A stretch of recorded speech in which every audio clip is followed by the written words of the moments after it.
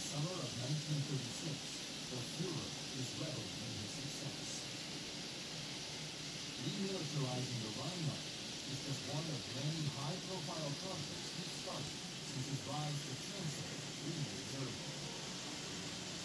These include breaking ground on the Autobahn, the world's first highway network, hosting an Olympiad